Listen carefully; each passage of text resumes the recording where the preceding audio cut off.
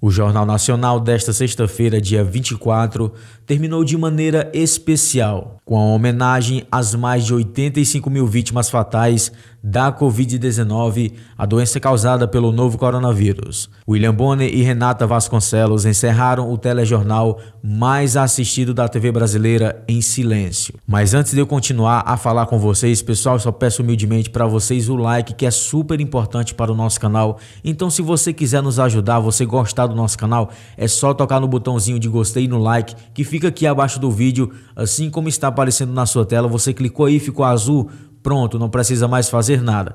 Eu convido também você que é novo por aqui a se inscrever no canal, clicar no nome inscrever-se que está de vermelho e tocar no sininho de notificações que fica logo do lado. Senhoras e senhores, eu sou o Gel do Notícias e Realities BR e a gente está aqui para mais um resumão de notícias. Então puxa a vinheta.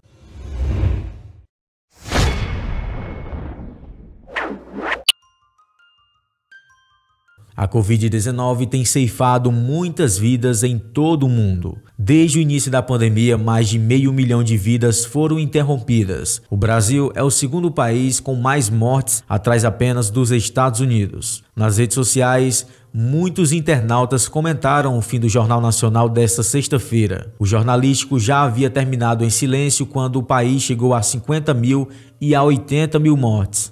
Vale também eu falar para vocês que o número de recuperados já passa de 1 milhão já de pessoas recuperadas e mais de 28 mil nos últimos dias, né? Então o Brasil, graças a Deus, vem recuperando muita gente, mas essas vidas, né, fazem muita falta. Cada uma dessas pessoas que morreram, né, tinha alguém que amava elas, então é muito lamentável, pessoal. Se você já perdeu alguém para o coronavírus, deixa aqui o seu comentário. Passando agora para a segunda notícia do nosso vídeo, morreu o radialista e também apresentador Elias Lourenço, de 81 anos de idade, na sexta-feira, dia 24.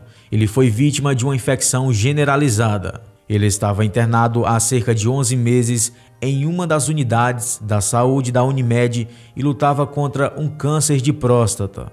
Durante a vida, Elias colecionou passagens por várias emissoras do estado. Veio para Recife na década de 1970 para atuar na Rádio Globo, mas findou seu último trabalho na Rádio Folha 96,7 FM, veículo no qual apresentava o programa Alô Nordeste e atuava há quase 14 anos. E aqui ficam os nossos sinceros sentimentos a todos os fãs, amigos, familiares e quem acompanhava o trabalho do radialista e também apresentador. Passando agora para a terceira e última notícia do nosso vídeo, a gente vai falar sobre Carlos Alberto de Nóbrega, que fez revelações inesperadas né, para os seus fãs. O apresentador Carlos Alberto de Nóbrega fez uma participação mais do que especial no Conversa com Bial na noite desta última sexta-feira, dia 24, na TV Globo. Por lá, ele acabou fazendo uma revelação e tanto é que ele acabou descobrindo uma doença neste momento de pandemia.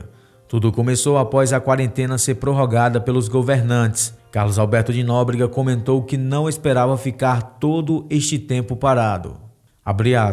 Quando a coisa estourou em março, fui para o meu sítio. Eu pensei que iríamos ficar uns 40 dias parados e que em maio eu iria voltar a gravar. Mas não, pois quando retornei a São Paulo, a ordem do Silvio Santos foi que eu, ele e o Raul Gil só voltássemos quando tivesse a vacina. Disse ele que então desenvolveu a depressão. Ele continua dizendo o seguinte: Então eu comecei a ficar muito deprimido com depressão, que é uma coisa que eu não sou, pois sou um cara alegre, para frente e que acha que tudo vai dar certo.